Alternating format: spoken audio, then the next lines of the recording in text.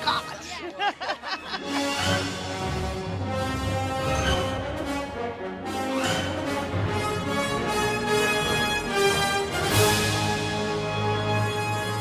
it. That's the uh, the picture that everybody has almost of me winning that gold medal in Barcelona over the 400 hurdles. Um, it's the picture I have at home and it's the one that, um, yeah, changed my life forever. Do you think it's all going to go to your head? No, I don't think I'm that type of person. That would have been my OBE.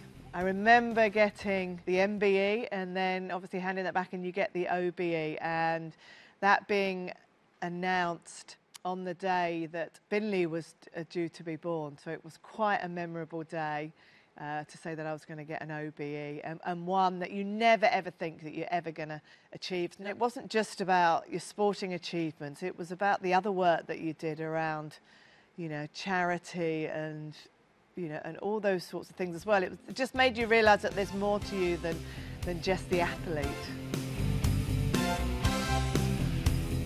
Wow. My boys, and my little one on the right there is just 18, and look at him there. I do remember that day trying to convince the boys to get over those hurdles, and little Marley on the right hand side. I mean, he's just tiny. Luckily, they had some little ones. I think it probably took a few shots to get. Um, John didn't do bad, my husband there on the left hand side. But yeah, it's just lovely seeing them actually embracing, you know, who I am. But at the end of the day, you're just mum.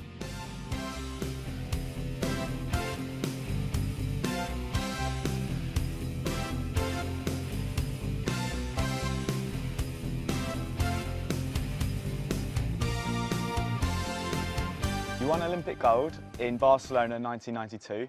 Do you think, as a woman, you got the same recognition as you deserved at that time? No, not at all. Um, it, it, was weird, you know, there was five of us that won those gold medals back then, and I was the only woman. You're being called the Essex girl. What do you think about that? yeah, I mean, I've, I've, been down here four years now, so I think I'm more of a Sussex girl than anything, but I think they just like that title more. I had to win that gold medal to get, you know, the sponsorship, the recognition, um, and what I deserve. So winning that gold medal in, in Barcelona was more than just winning a gold medal. It, it, it was that, you know, I'm, I'm, just as good as you guys here, um, and I want that respect. But we were such a long way away, and I just hope at that time that we were going to close that barrier, uh, which I do believe that I did at the time. But that's why I love where, where women's sport has come now. What's your advice to any young girls starting out in sport that want to achieve similar to you? Always have a dream, um, be strong, don't listen to the negative thoughts and people's voices around you, um, and believe in yourself. I think I come across so many women, whether that's within sport, whether that's within business, that think that they're not good enough. And so much of what I learned was, uh, so much of it is about your thoughts up here and how strong you have to be. And, and I think us women have to override those negative thoughts because we can achieve so much and so many people have achieved so much and we need to be able to give the youngsters that direction um, and that confidence that they need. If you could take me back to any moment in time, what moment would it be?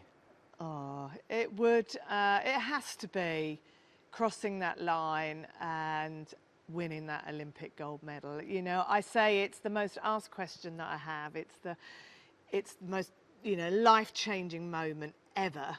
Um, and you know it's it's almost the hardest place for me to be able to go because I just I couldn't take it in and I wanted to take it in. I wanted to share it. I always remember thinking I had this box and I put it all in and I remember it later and, and be able to share it. And, and you can't almost. And it's so hard to describe but I would love to take you back to that moment. And I guess it's just not just that moment but I guess it's the everything that you'd learnt getting there, the hardship, the, the training, the discipline and the, and the mindset to actually get it all right on that, on that night. And um, yeah, because at the end of the day, I am just mum to you. And I think, you know, we've probably never really talked about it. you know, I can't believe still that it's all come true and you know, what a brilliant week ahead.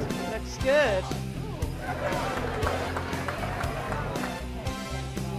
Sally, who steadied the English ship, Oh, Nearly pulled that out.